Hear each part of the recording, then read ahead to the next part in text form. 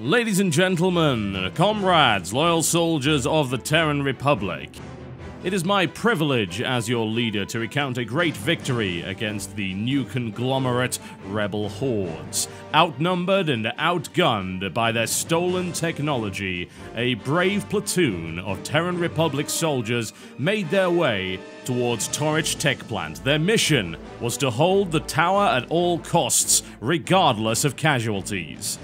The rebel forces were present there in great numbers, however, no matter the cost and difficulty of the mission, the Terran Republic always rises to the occasion. We began by softening up the new conglomerate forces on the ground, detecting a large number of enemy armored vehicles in our location, suppressing the Terran Republic forces who were trying to hold on to the territory which was rightfully theirs. Terrified by the efficiency of our assault, you can see the new conglomerate attempted to flee in their Galaxy dropships, but not before being intercepted by our Liberator wing. Deaths which surely befitted such cowardly fools followed, with their Galaxy dropships being torn from the sky by superior Terran Republic firepower. However, let us not forget that the area we were entering was falsely claimed by the new conglomerate, and they had many times our numbers in armored forces on the ground. Our noble bomber wing was soon taken down by superior new conglomerate interceptor numbers, but not before destroying the fleeing galaxies. The remaining new conglomerate rallied and decided that this would be the time when they finally would stand against the Terran Republic and truly win the day.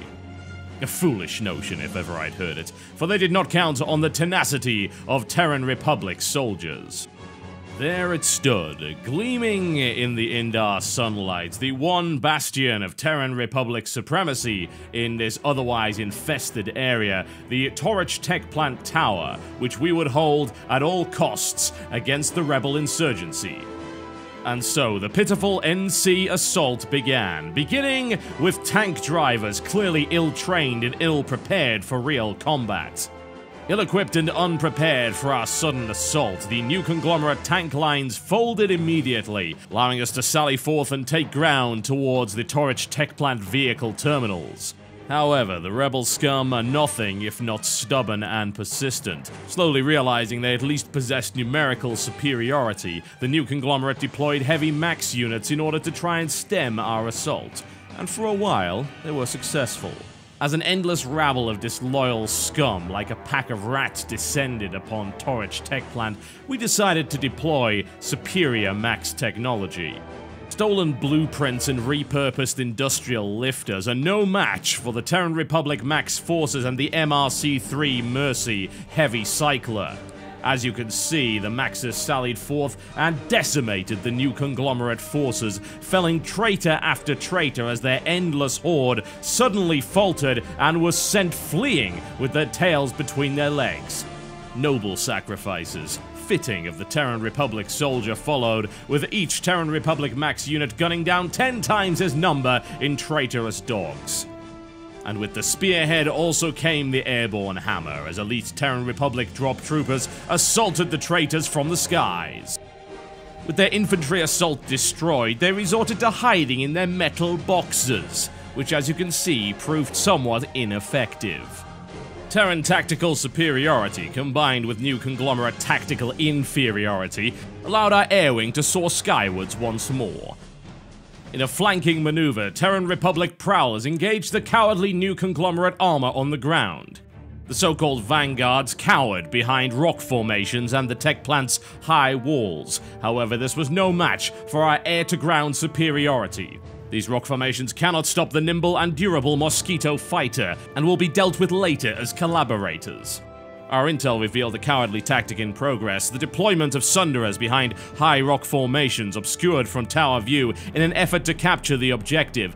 However, our elite drop troopers blasted in from above to blunt their pathetic strategy. As you can see, sabotage was deployed by the new conglomerate terrorists to ensure that some of our best men tragically fell to their deaths.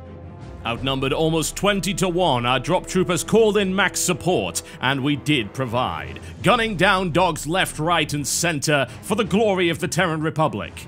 The pitiful cowards fell as wheat to the Reaper's blade, and the ground was stained with the blood of the traitor.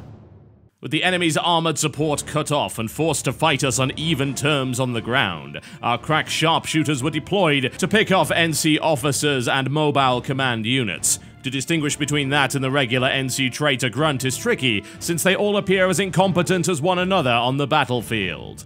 Cowardly and disloyal creatures that they are, the new conglomerate fell back to their ill-gotten hideout towards the south of the tech plant. We employed lightning tanks on the ground to clean out the vermin with great effect, obliterating their numbers with one high explosive shell after another. One must be wary, however, for as any field commander will tell you, infestations are not so easily removed. And what is the rat hole of the traitor? Yes, indeed, the NC Sunderer. The hunt was on. And you can rest assured, loyal citizen of the Terran Republic, that we would hunt down and obliterate every last one of these infernal contraptions, sending them back to the hell from whence they came. But you may ask, how does one destroy a new conglomerate Sunderer? The answer, loyal subject, is the same way as one destroys anything else, with fire and judgment. And also rocket launchers. Take heed, dear viewer, of the vermin you see before you. Do they not look like ants from up here? That is because they are ants, and like any ant, they must be crushed underneath the jackboot of loyalty. And so the inevitable occurred. The rebels, driven out of their stronghold, were finally destroyed under the great flame of judgment provided to you by the Terran Republic. The tech plant, swarmed by loyal Terran Republic soldiers, finally fell, and the new conglomerate forced back underground to live in the filth that only they deserve. To participate in our campaign of truth, justice, and the Terran Republic way, it is your duty as a citizen to serve.